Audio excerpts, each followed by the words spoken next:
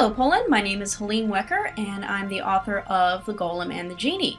I'm sending you this message from my home outside San Francisco, California, where it is a beautiful November day, and I just wanted to tell you a little bit about my book. So, The Golem and the Jinni. Uh, the year is 1899, and a golem arrives in New York City.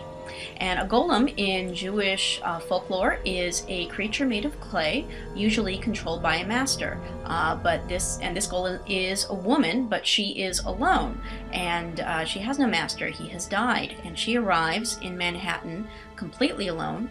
Uh, with and she has to learn how to fit in and act as a human. Um, at roughly the same time, elsewhere in Manhattan, in the neighborhood of Little Syria, a tinsmith is repairing an old copper flask when suddenly out pops a genie. And uh, a genie in Middle Eastern and Muslim folklore is a creature made of fire. Um, the most famous are from the stories like the Thousand and One Nights, like the tale of Aladdin and the lamp. Uh, this genie is male and he is trapped in human form. He's not very happy about it.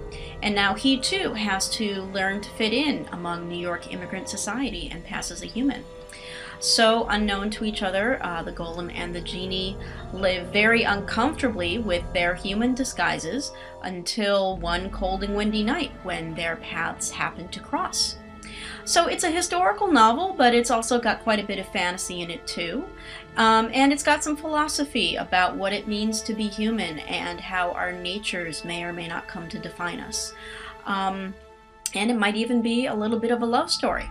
I'm very glad that it's being published in Poland um, because many of the most famous of the Golem stories uh, came from uh, Poland.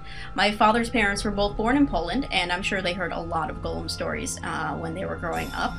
The genie stories uh, came from my husband's side of the family. Uh, his father is Syrian, and uh, I wrote this book sort of to combine our family histories and to look at uh, immigration to America from both the uh, Jewish and Arab American perspective, while also hopefully telling a fun tale. So I hope that you read it, and if you read it, I hope that you like it, and thank you very much.